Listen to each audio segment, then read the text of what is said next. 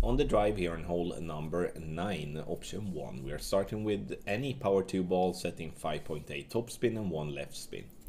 Then we can either swap to uh, or either swap to a P3 plus ball if we prefer to play with a ball like that, or we are keeping the P2 ball all the way.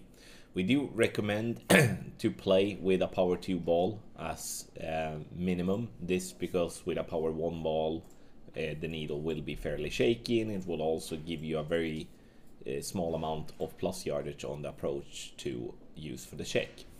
Half a ball of left curl, max over power, and we're looking to get to around 410 yards.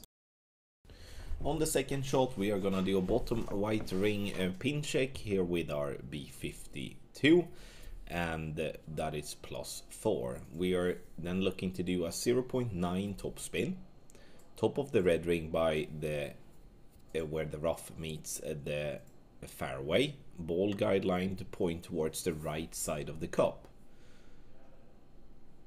Adjustment is going to be 1 to 1 in the mid and the low winds, 1 to 1 plus 0.1 for the high wind. So that is from plus 4 and plus 5 we make the adjustment and we're gonna center the ball and hit perfect.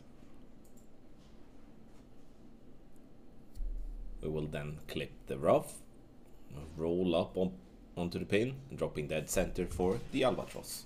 Scan the qr code here on the screen or go directly to patreon.com slash golfclash uh, tommy for the best guides on the market